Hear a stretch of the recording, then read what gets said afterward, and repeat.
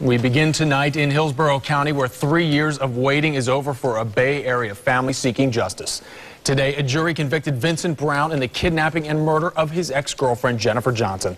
Our Carson Chambers was there to witness the strong reaction both inside and outside the courthouse. Carson? Well, James and her family was in court every day of the trial, and today they say it was all worth it.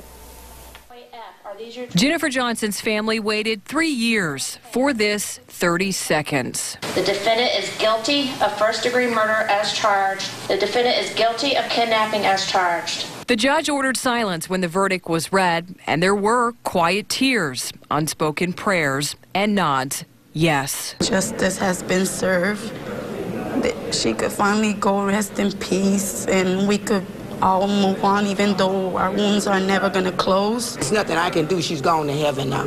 She's in a better place, but she didn't have to go like that. This is the verdict they wanted so badly, though it won't bring Jennifer back. Her family sat through excruciating testimony for weeks, detailing how she died. Graphic photos showed what Brown did to her body, so it wasn't hard to understand why outside the courthouse. Johnson's family didn't hold back. We are survivors and we are here and we did what we had to do for her. And that's for all battered women over the world who's ever going through something like this. Get out. Her family says Johnson was leaving Brown when he kidnapped, tortured, raped, and killed her. They won't be silent about it. He needs to get what was what he deserves because he didn't have to take the life of my daughter. To many women, they were they are in abusive relationships. I would like to tell them to get out. It's never too late to get out. Brown may pay with his life for what he did three years ago. He was silent too and stone-faced when the verdict was read.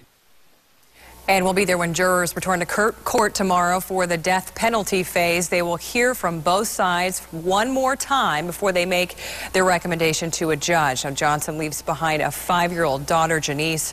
Her grandmother is raising her. I'm Carson Chambers. Back to you. Carson, thank you. And ABC Action News is dedicated to taking action against domestic violence. To find information on where you can get help, you can go to our website at abcactionnews.com slash DV.